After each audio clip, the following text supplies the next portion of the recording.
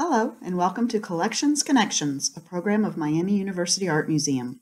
I'm Laura Stewart, Collections Manager Registrar, and it's my pleasure to share with you a work of art from the permanent collection virtually.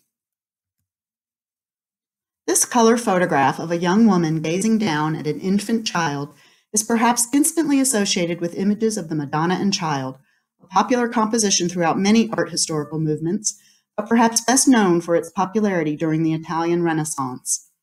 Created as part of contemporary photographer Joyce Tenneson's personal color works during the latter part of the 20th and first few years of the 21st centuries, this is but one example of the types of unique objects Tenneson makes using Polaroid instant film development technologies.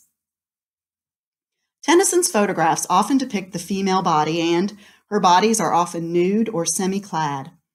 Tenneson has stated that much of her work is autobiographical. Interestingly, as it relates to this particular image, Tenneson, along with her two sisters, was raised at a convent where her parents were the groundskeepers. She is quoted as being profoundly influenced by the pageantry and symbolism associated with the Catholic faith. Tenneson's photographs are not only highly regarded within fine art and portraiture fields, they are also recognized for their quality in the fashion and beauty photography industries. Her transformations images include the beginnings of her work with color in the mid 1980s. The catalog was originally published in conjunction with an exhibition at the International Center for Photography in New York.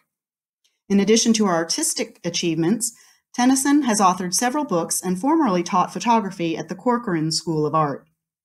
Miami University is indeed fortunate to be able to add to its collection of works by Tenneson with this generous 2019 gift from Mr. Bradley Griffin and Mrs. Betsy McCormick.